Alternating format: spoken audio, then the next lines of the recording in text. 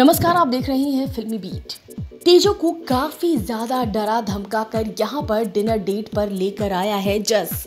जस काफ़ी कुछ उसे बोलता नज़र आ रहा है और इधर तेजो काफ़ी ज़्यादा परेशान नज़र आ रही है, बेहद डरी, सहमी सी दिख रही है। वो यहाँ पर सारे अरेंजमेंट करता है और आप देख सकते हैं यहाँ पर वाइन भी रखी है और वो ये कहता है कि चलो वाइन पीते हैं और इसके अलावा वो धमकी भी देता है। वो कहता है कि यहाँ पर तुम मुझे जितना परेशान करोगी, वहाँ पर पापा विर्क उतने ही परेशान होंगे और ये सब कुछ सुनकर काफ़ी ज़्यादा सहमी नज़र आती है तेजो। वेल काफ़ी टॉर्चर करता नज़र आ रहा है यहाँ पर जस।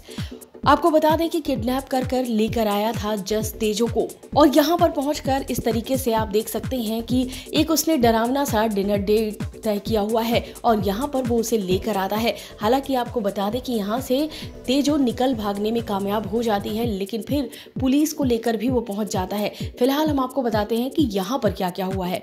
वेल, यहाँ पर वो बोलता नज़र आता है, एक तरीके से धमकी देता नज़र आता है कि मैं चाहता तो तुम्हारे घर सीधा पहुँच जाता। यानी कि सीधा फतेह के घर और वहाँ पर मैं तुम्हें लेकर जा सकता था, लेकिन मैं वहाँ पर नहीं पहुँचा क्योंकि मैं एक शांतिपूर्वक रहने वाला इंसान हूँ और मुझे लव और पीस बहुत पसंद है। ये सब कुछ बोलता नज़र आता है और इन सभी बातों में काफ़ी ज़्यादा धमकी नज़र आती है और इनफैक्ट वो धमकी उसे देता ही है। और यहाँ पर आप देख सकते हैं कि तेजो जो होती है वो कुछ भी कह नहीं पाती, वो सिर्फ़ और सिर्फ़ डरी हुई, सहमी हुई नज़र आती है। वो यहाँ पर चेयर पर बिठाता है और उसे बताता नज़र आता है। और यहाँ पर हम आपको ये भी बता दें कि जो हरकत कर रही है जैस्मिन, सारी बातें जो है वो जैस्मिन ने बता दी है जस को कि फ़तेह और तेजो की शादी इलीगल है और तुम्हारी और तेजो की शादी जो है वो लीगल है और ये सारी इन्फॉर्मेशन वो जस को दे देती है, जिसके बाद जस बहुत खुश हो जाता है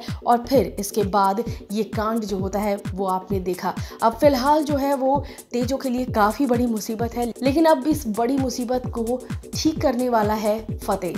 फ़िलहाल जैस्मिन की जो भी हरकतें हैं, वो लोगों के सामने नहीं आ रही हैं। इस वजह से फैंस को बहुत ज़्यादा गुस्सा आ रहा है कि इतनी बड़ी बड़ी हरकतें करने के बाद भी जैस्मिन बच जा रही है। जैस्मिन के बारे में फतेह को कुछ भी नहीं पता चल रहा है। फ़िलहाल यहाँ पर डिनर डेट पर धमकाता नज़र आया जस तेजो को। इस वीडियो में बस इतना ही।